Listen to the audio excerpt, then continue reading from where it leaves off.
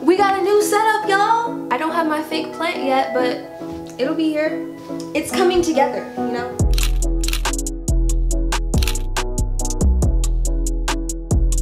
What is up, artists and movers? Welcome back to my channel. My name is Gaylyn Lareese and I am a dancer living in Los Angeles and I like to make videos to help you take your love for dance to the next level. So in today's video, I'm gonna be talking about something that every single dancer has to deal with eventually and that is auditions. Auditioning, just like dancing itself, is a skill.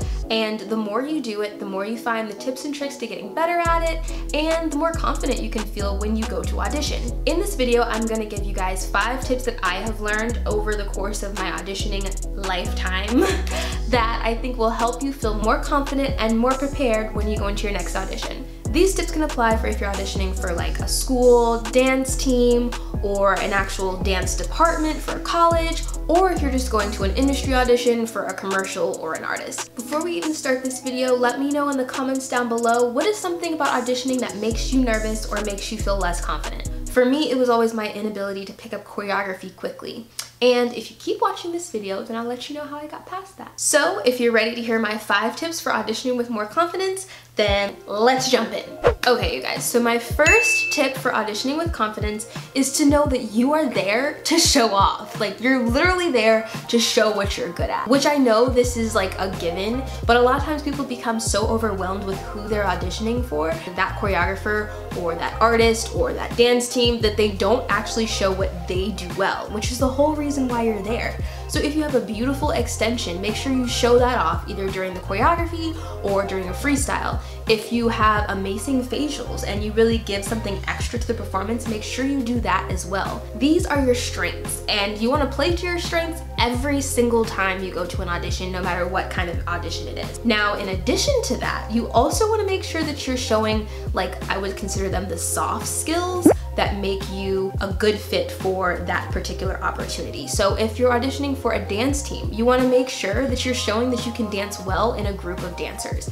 That means that you don't stick out too much. You know how to dial back some and really focus on the details that make a unit, an entire group of dancers, look cohesive together. Sometimes, honestly, the choreography is going to be bone dry and you want to show that even though it's not the most interesting moves and the most interesting choreography, that you can still add personality and life to it and sell it to whoever is going to be watching. You want to show what it is that you specifically bring to the table. Why do they need you to be a part of this job? And sometimes, honestly, you're gonna find that what it is that you bring, they may not necessarily want. And that's okay. That just means that it wasn't the perfect fit for you and if you continue to show who you are more authentically every single time you audition, you will find people and opportunities that will be drawn to that. My second tip for auditioning with confidence is to do your research. Research the choreographer, research the dance program, research maybe who that choreographer has hired in the past, what kind of jobs they've worked on, what kind of brands have hired them. This is gonna give you an idea of what they are looking for when they are sitting in that room. Instagram honestly is the perfect place to start if you're trying to research a choreographer and their personal style. As we all know, Instagram can be like your social media resume and you can use that to your advantage.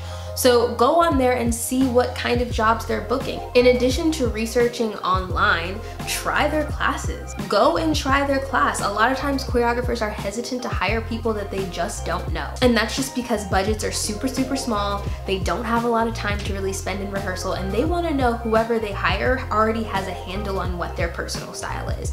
So taking a step further and taking your research into the studio can actually give you a much better chance at being noticed right from the jump. My third tip for auditioning with more confidence is to know how you best learn choreography. I'm gonna let y'all in on a little secret. I'm not the best at picking up choreography. Or at least I wasn't in the past and I truly feel like I've gotten better at it over time, but it's not something that I am I wouldn't say it's a strength of mine. For me, over time, I've learned that I pick up choreography best when I actually move around the room. I think it has to do something with like visual association, but if in the process of learning the choreography, I actually try standing in the right back corner and then try standing in the front to the left and then move around the room the entire time, I'm really able to realize what things I actually know and what things I'm just relying on my visual surroundings to remind me, that makes sense. And this is a skill I picked up when I was in the phase of like taking a lot of classes. So at that time, I was in class regularly and, and over time doing this and moving around the room really helped me pick up the choreography faster so I could focus more on actually performing and bring something extra to the choreography. Something else I've learned is that I'm a technical dancer, so counts are my best friend, and it doesn't mean that I actually need counts for every single part of the choreography, but knowing that the head whip is on a four and not on a two helps me find my place in that choreographer's pocket when I'm trying to pick up the choreography and find how they're hearing the music. Learn how you learn and I can guarantee that no matter what style it is, you will feel more confident when you go to an audition because you'll get to focus more on how you are performing and what you are bringing to the table and less on like what the step is. My fourth tip for auditioning with confidence is to make sure you have everything in your dance bag. Make sure you have all of your must-haves, your towels. Like I'm, I'm a sweaty girl, okay? I sweat a lot, it is what it is so I have to have a towel. Make sure you have your extra heels, your extra sneakers, an extra pair of pants. I like to make sure that if I'm going to a technical audition that I always wear a pair of sweatpants. I just, I love sweatpants. But also because it helps me to warm up a lot quicker. Nothing is worse than doing choreography and feeling like you have to hold back some because you're not properly warm carry your touch-up makeup. You don't have to carry the whole caboodle with you, but make sure you have, you know, your powder, your setting sprays, those kind of things so that you can feel more prepared, again, to just do your best and to show yourself off and less on like trying to dance through the sweat in your eyes and like, oh my god, they can see my fifth tip for auditioning with more confidence is to have your go-to outfits already decided on. For me, one of the most difficult parts of going into an audition is picking what I'm gonna wear. And I don't know why that is. I have no personal style. I don't know how to dress. That's probably the reason why.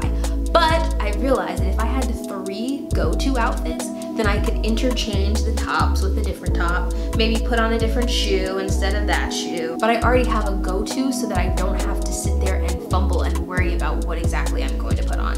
In addition to having your go-to outfits, you also want to make sure that you try those outfits on in class. See how your teachers respond to them. See how other dancers respond to them. See if your boob falls out. You know, the worst thing that could possibly happen is you're dancing and then the strap pops because you didn't try it in class and now you're like trying to dance like this and you only get to go in groups one time and like you set yourself up. So make sure that when you're picking these outfits, you're also giving yourself time to make sure that they actually work. Have a statement piece like a bright top or maybe a haircut perhaps.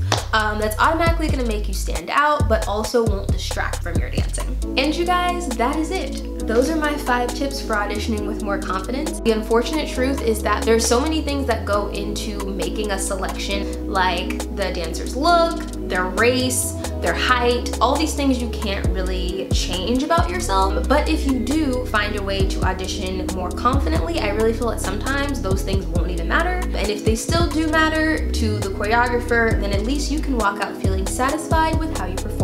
Let me know in the comments down below if there are any other videos that you want to see me do. Give this video a like if you found it helpful. And if you want to become a part of the family, you know what I'm saying, there's a simple way to do that just subscribe. I upload new videos every weekend on dance and my experience as a dancer in LA and all the dance loving things. So my goal is to help you guys take your love for dance to the next level and that is what I'm trying to do for you guys and myself and we get to do it together. I'll see you guys in my next video. Bye.